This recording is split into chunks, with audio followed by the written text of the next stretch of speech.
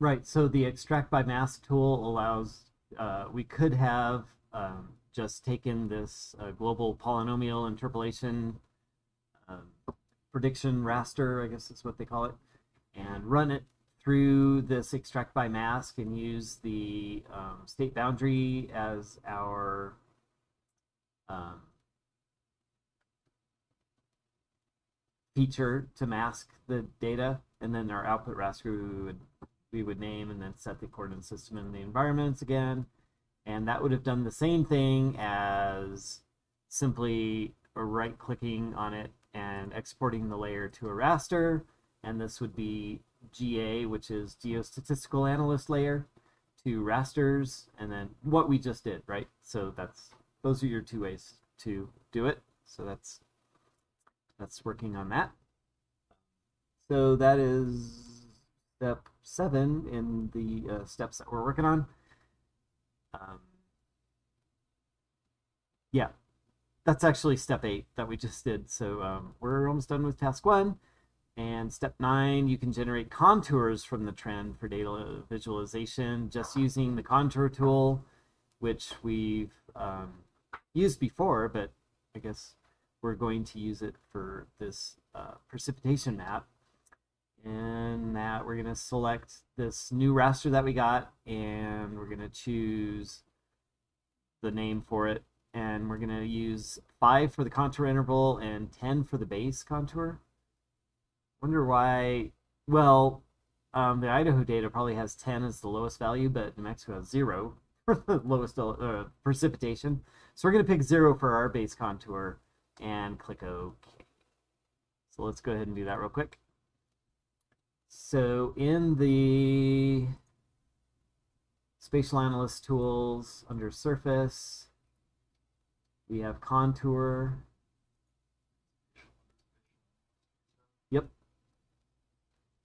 And we're going to pick our new um, NMGPI, or it's that geo um, global polynomial um, interpolation raster that we just made. And we're going to set the contours. No, we're going to name it NM precip.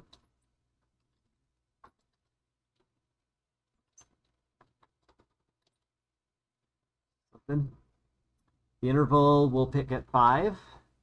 Base contour we'll leave at 0 because that's the lowest value we have and the contour types are contour rather than polygons or shells or whatever. So those are just lines. And let's set the output coordinate system to the current map again, which is our custom New Mexico coordinate system, and run it. There we go. We can turn off the data and five. So there you go.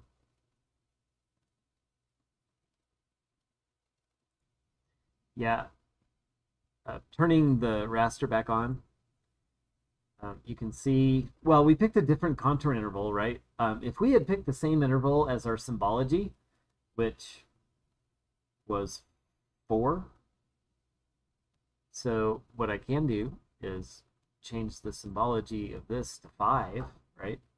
So we could go through and pick not a geometric interval. Well, actually, let's set this to, well, we're not going to match it exactly. I guess if we um, divide the two, right? So it goes from 0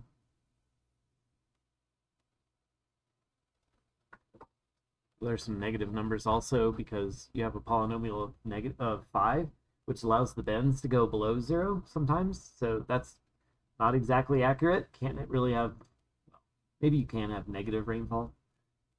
I mean, that's kind of an evaporative index or something. But anyway, if I take 0 to 30 and divide it by 5, I could say 6 intervals and then change the upper values to values of multiples of 5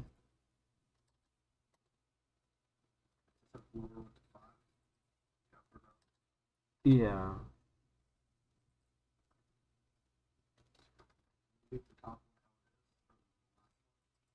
Yep.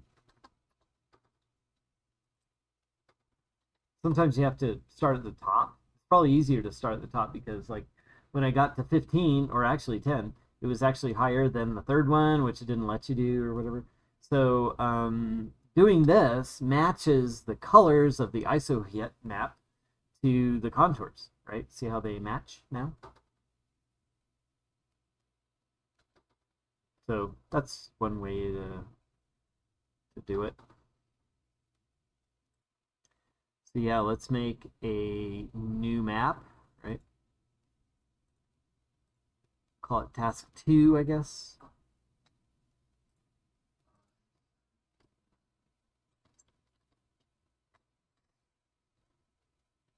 I guess we can name this one task one, huh? Or just an, an uh, nm or something.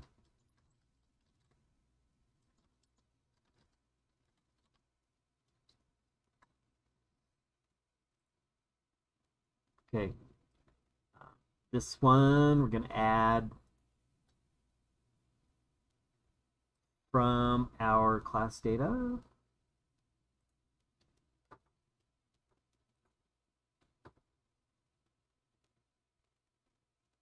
Hang on. So now after copying that in there, I would refresh this folder and I should see the deer shapefile that I can drag into the map. Those are deer sightings according to this step two.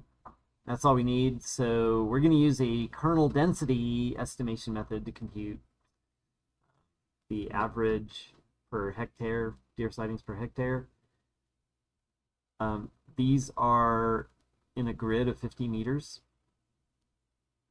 Therefore, some locations have multiple sightings, so I guess if it gets a sighting, it's going to put it on the same location if it's close enough. Anyway, um, we've already done this part.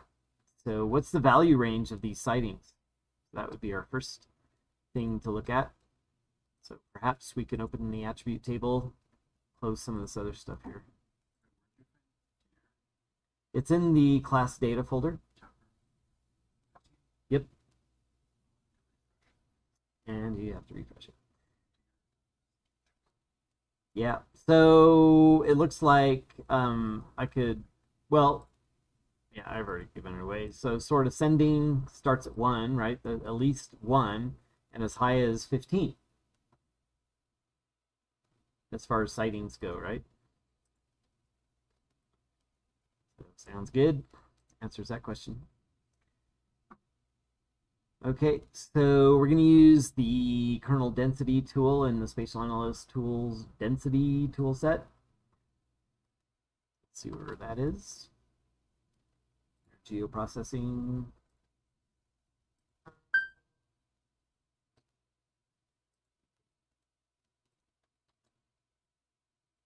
Yeah, we could do a search for it, but I like to find it the other way. So, um, spatial analyst, density,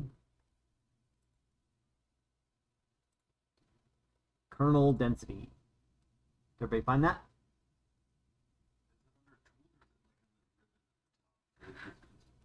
It might be up here. Well, I don't think it would be up here. Um, so it is in the spatial analyst tools under density. The density drawer in the spatial analyst toolbox.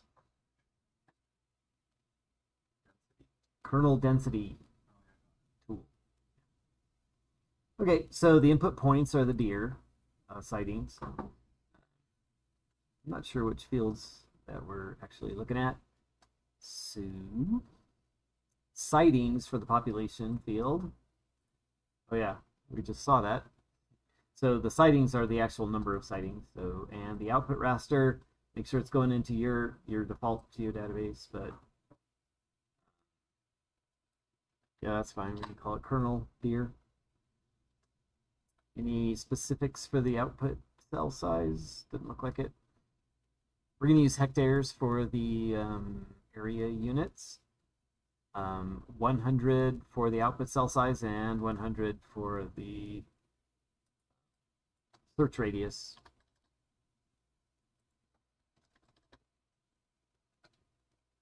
And the area units, hectares, Okay, I think the rest of it is good.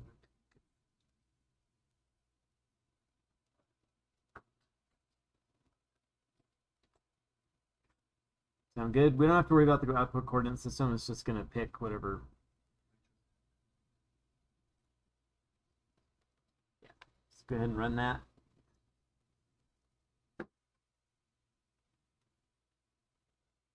Okay. What do you get for a range values for this kernel density?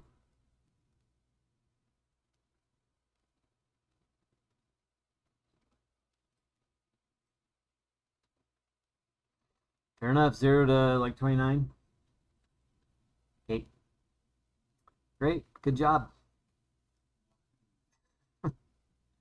um, we talked about the kernel density, right? That's kind of a was it an algorithm to apply to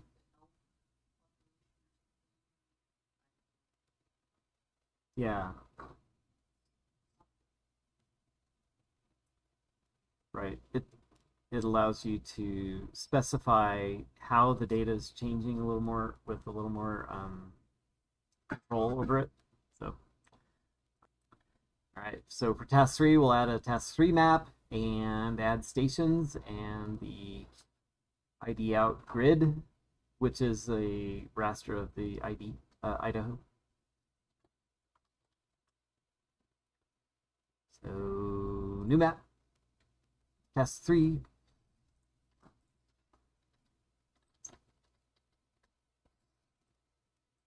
that. And we're going to add the Idaho raster outline and are we're using stations again. Hmm. So should we use the New Mexico one then, since these are the weather stations? Yeah, let's do. So I'm going to just go back to, we may use this for another one so we can rename it. But let's go back to our original map, our NM preset map, open that one. We can close some of these um, yeah, so here are the stations in the outline again. So we can just use this and then follow those instructions for Idaho. Okay, so we're going to go back to that wizard and choose, instead of the global polynomial and uh, interpolation, we're going to use the inverse distance weighting, right? So the further something is away, the less it'll be weighted, and we can choose the power for that weighting also. So if we select the uh, analysis ribbon with uh, the station selected, we can go right to, does everybody see where the geostatistical wizard is? Our stations points, yeah. And then go to the analysis ribbon. And then you should see that geostatistical wizard. Yep. And this time we're going to choose inverse distance weighting. Same source data set, same data field, the uh, total precipitation for that. And next. lot different than the global polynomial in, uh, index one or whatever, the interpolation. So, okay. That gets us to step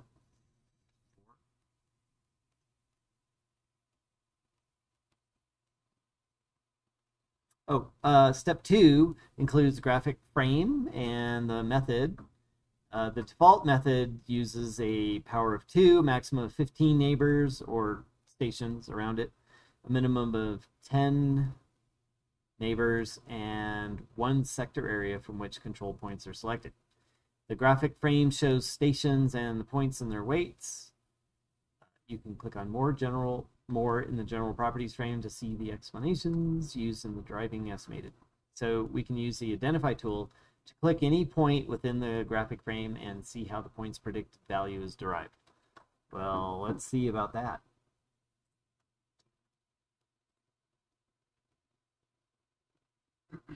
Well, I don't know that there is one here.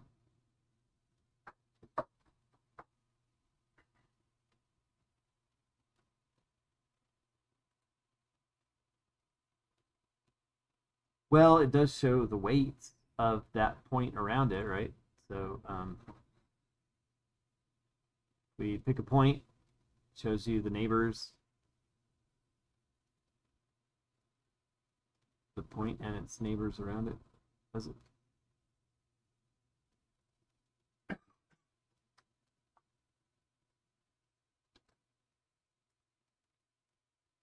It doesn't look like it has that in identify tool in there.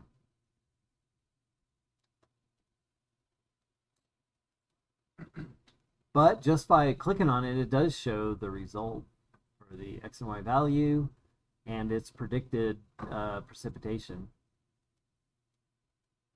So I guess it's the default. Fair enough.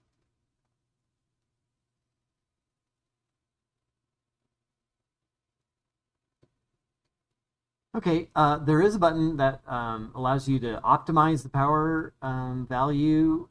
So um, let's see what that does.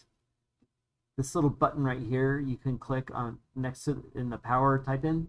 You can pick your own power, right? From 0 to 100 or something, 1 to 100. 0 would just be a straight line, I guess. But anyway, you click to optimize. Oh, it went to a power of 1. So that's cool.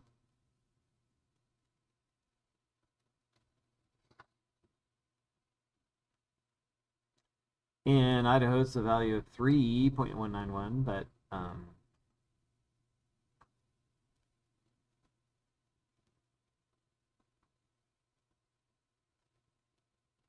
using what's called cross-validation. Remember what cross-validation meant? What that is? It basically takes a point out and it runs the tool without a certain data point, and then it compares that data point that wasn't involved in the whole interpolation and compares it with what it got. Right?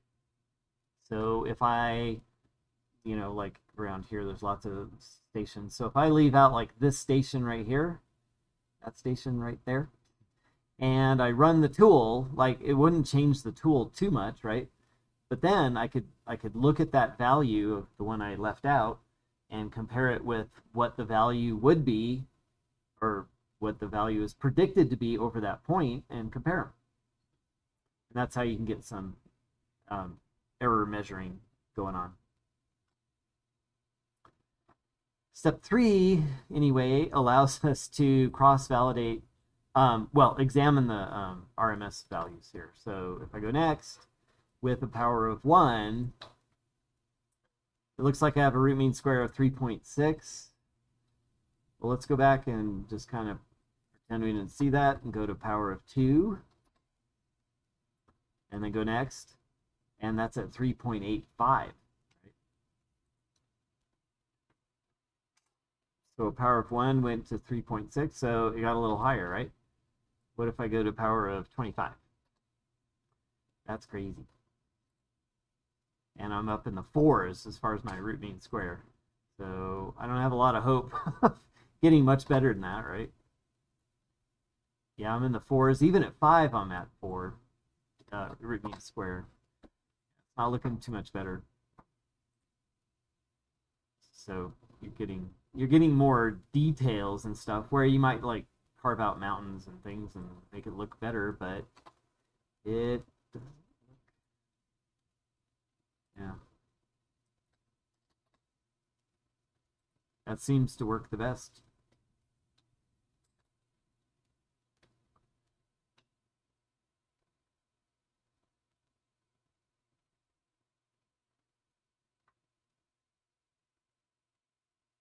All right, so you can um, click Finish and look at the method report and follow the um, same steps to get, yeah, might as well, right? So we can click Finish. Here's our report. It's wonderful. I left it at 1, actually. Yeah,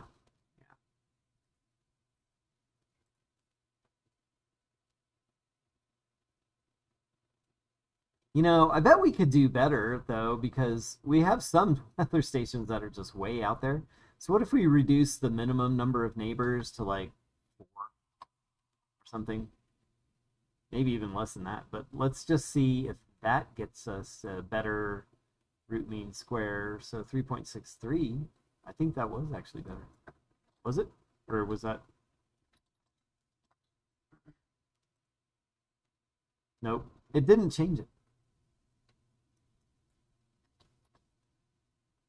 Okay, well, never mind.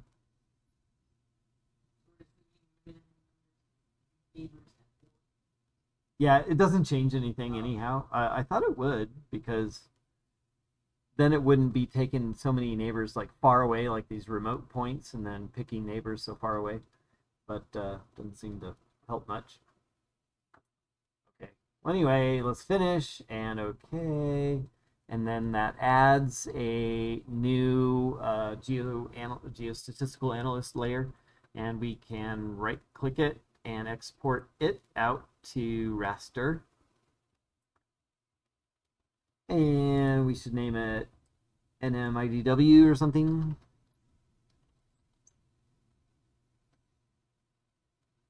Output cell size, same. It's all good. Environments, coordinate system, our current one. And we're going to mask it, right? So we're going to mask the, based on the state outline. And is that right? Well, yeah, it says U.S. states, but it's really just the New Mexico outline. So.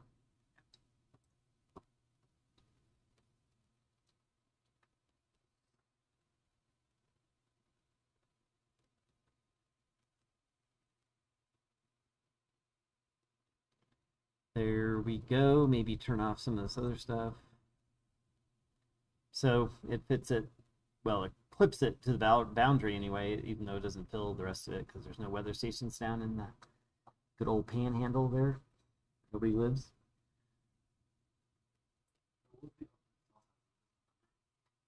I left it at 2200. Yep. Yep, yep, yep.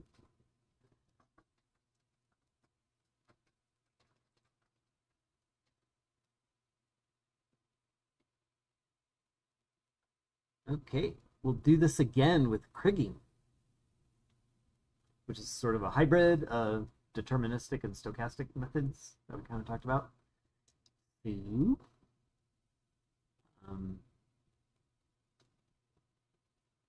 I'm going to leave it in the same same task. We're not going to add another map. Um,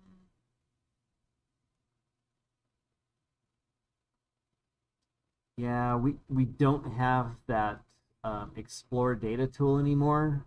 Um, I wonder if we can find that um, semi-variogram uh, cloud tool somewhere. So let's see if we can find that. Okay, so let's turn everything off but the points in the state outline again. And we'll go to the geostatistical wizard and we'll choose kriging, co-kriging, right? And the same uh, weather stations and the total precipitation field. We're okay with that?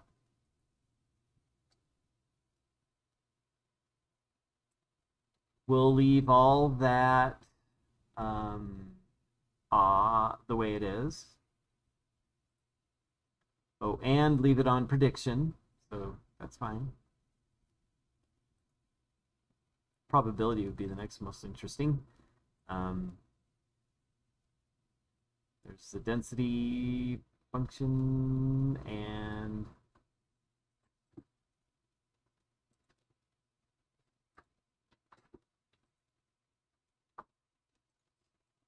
yeah. Let's go next to our yeah uh, if we go to the fourth page I guess. That is or the third. It's the third or fourth Anyway, this is our semi-variogram, which plots the differences between the pairs of points. And we can change the number of um,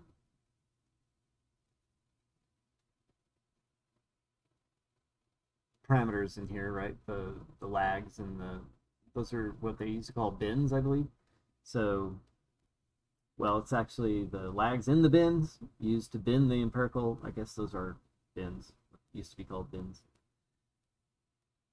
Leave that at 12. we can optimize the model, which I'm guessing is already, there's, it wasn't already optimized. So let's go next for, so it seems to be following this trend line, you know, with some variance there, but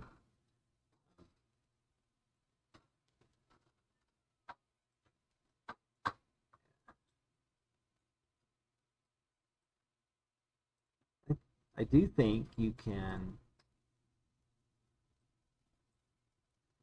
edit the sector types. You can do a uh, octant. There's our octant one that we talked about too. Don't know that well. Yeah. Um, the next screen should give us our average root mean square error, right? Um, yeah, that's not much better than the inverse distance weighted. In fact, it's a little worse. Yeah. That's as good as it's going to get, unless...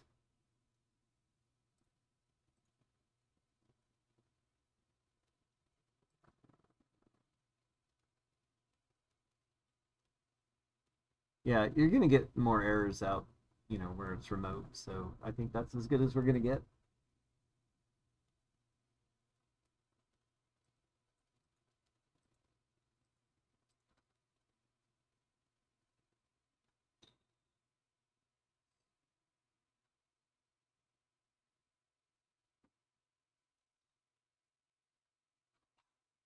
All right, let's finish this one. Well, I'm going to click on optimize again just in case I messed something up. But I don't think it was different. We'll finish that, and we already saw our root mean square error and all the settings in there. I believe you can export this. Yeah, or copy it. Anyway, click OK. And now we have this model that we can export, but I think I'll leave it because we've already done that.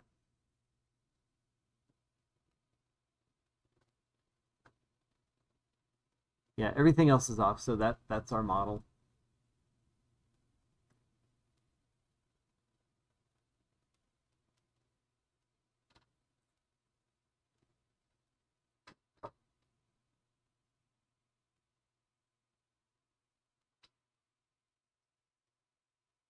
Kind of got ahead of us, ahead of this. Uh, let's just run through the task a little bit and make sure we didn't miss something important, but I think that's it. Yeah, so in the, um, I guess we could have paid more attention to that semi-variogram cloud, but um, I don't know, did that let you, we can look at this again. Next, next, next. Yeah, and here, um, can we click on anything? It didn't look like we could. No. So it's a little less functional than it used to be. Okay, so that we're going to have to pass up on some of that.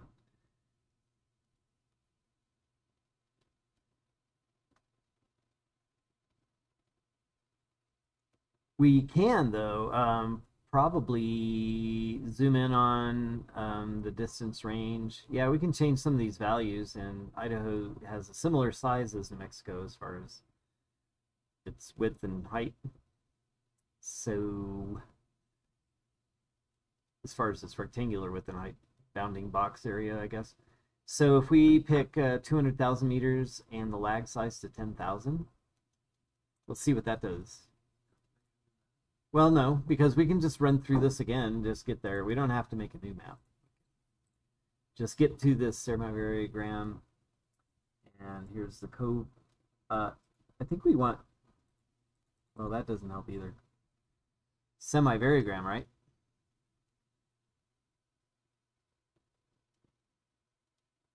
Yeah. Okay. So lag size was 10,000? Let's go 10,000 on this. Number of lags, 20.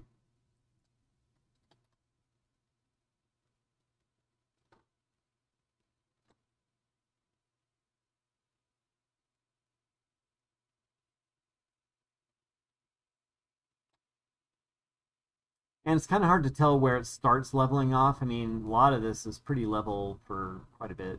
So, um, and this is uh, by 10,000 meters, 100,000 meters. So we're looking at 90,000 meters here. There's 100,000 meters. So yeah, not too different than Idaho's map. For, because they were at like 125,000 meters started to level off. Anyway, it will switch the lag size to 82,000.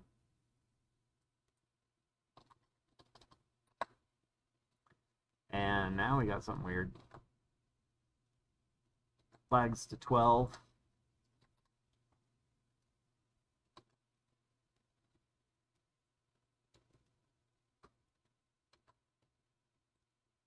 Yeah, we can't do this interactive stuff because they just haven't done it.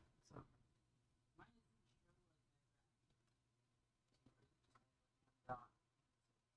Are you on semi-variogram or covariance? Okay, and you have 82,000 and 12. Do you have any points selected in your map? Hmm. But you don't see any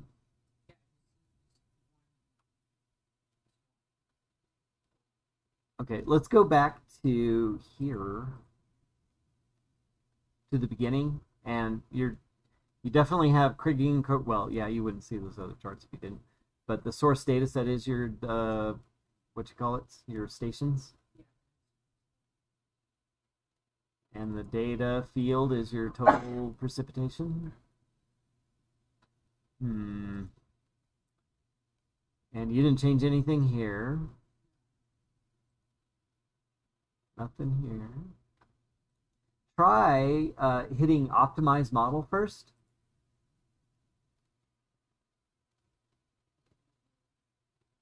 There's a uh, there's a button at the top. Yeah. It's, did that put up the dots now? Okay, so right now it's at 12,000, right? Well, no. Okay.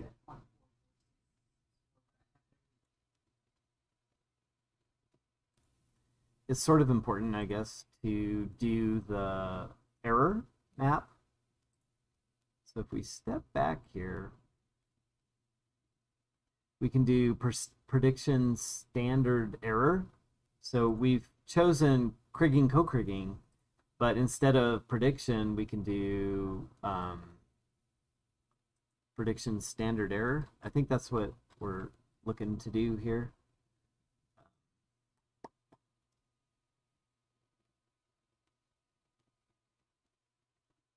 Yeah, so we can um, go back and produce another map this.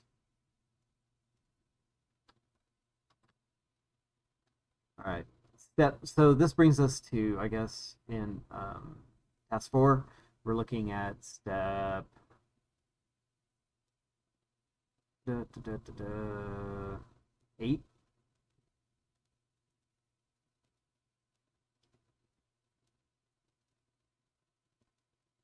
Or wait, we're, we're in step five now, right? No, this is ordinary kriging. Then we'll use universal kriging. Ah, I just was reading the wrong part. Okay, so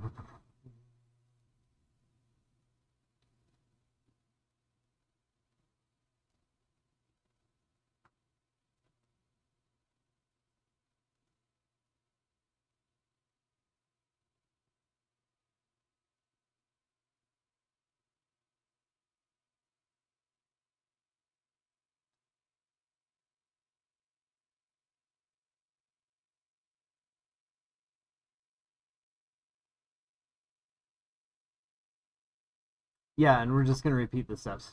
See, after all that. Okay. So go back here, go through this window. So the only difference here is, um, in case we missed it, we're doing the same kriging, co-kriging, and we're going to use prediction standard error. Glad I went back there because it changed it. And then next, and next, and optimize the model again, which puts it at that, and then next. So here's where the errors are, right? And so we kind of figured where there's fewer, where there's bigger spacing, and it looks like you have higher values and fewer stations, I guess. And we have low uh, error where there's just a group of stations, and much more error where there's not. Um, not exclusively, though. We have some points out here that are uh, pretty far away, and the error seems to be pretty low, so I don't know um, why that necessarily is, but we can look. The root mean square is again 3.68, and let's finish that, and we'll add this to the map. So here's an error map that can be used to know, quantify or qualify some of this data. Cool. I'm not going to trim it or clip it and export it out to a raster or whatever, but jump back to, I think we can finish task five before we get to our challenge task, which we would hit on Tuesday, I guess, or Monday. Okay, same, we're going to keep in the same task. We're going to run a universal kriging on this data. And we'll follow the wizard. And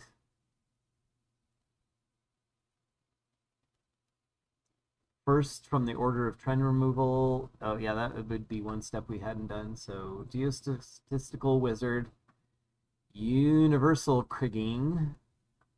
Are we Yeah, where is that?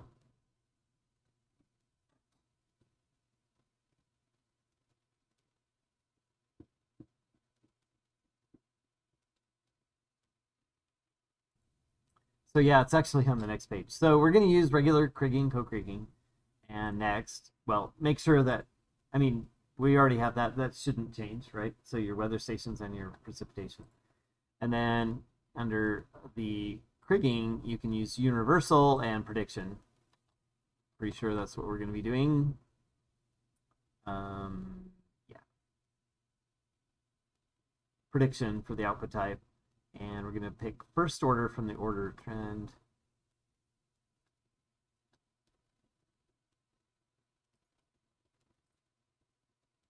Next. So here's the first order.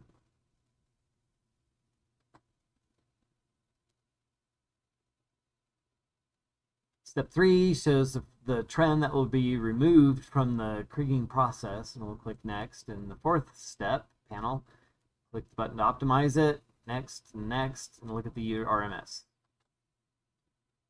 So optimize, wow, it did quite a bit. So, um, yeah, okay, next. And you get your semi-variogram. That's that's great. And next. And next. So that's not helping our root mean square error. So inverse distance weighted takes the cake so far.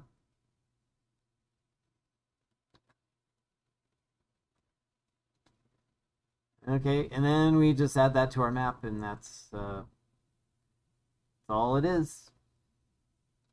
So using these different methods, I mean, to sum, sum up, there's a lot of settings in these in these kriging um, exercises that changing the number of sectors. Um, for a whole precipitation over a whole state, I can't think that any increase in this is going to help much.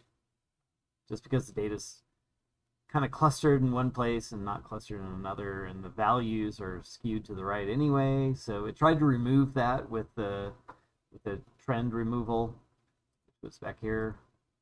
Well, we optimized it, so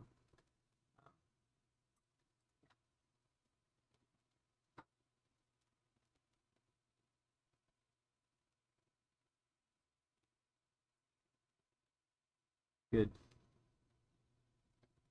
So yeah, it- had to pick a huge radius for this. Uh, well, to to get enough neighbors. All right, good enough. So if we finish, we can add it to the map. I guess we should do that. So here's our universal kriging one. Yeah, that's the one on top. Then we could export that if we wanted, but that's it.